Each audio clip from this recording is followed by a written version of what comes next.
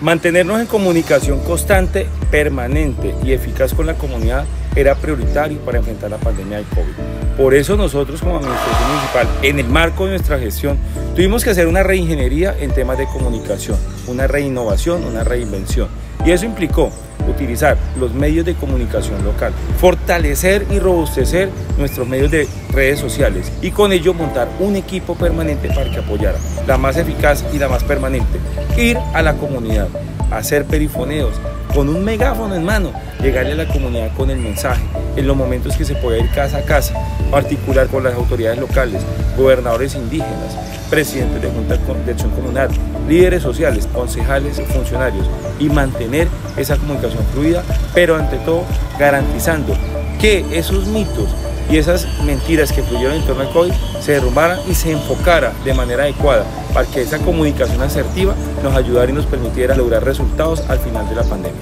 Y por supuesto, mantener a través de comunicados oficiales permanentes informada a la comunidad para que entendiera qué iba sucediendo en cada etapa de este proceso de la pandemia. Eso llevó a que fuéramos uno de los pocos municipios de nuestro departamento que fuera de los últimos en que llegara la pandemia COVID y aparecer el primer caso.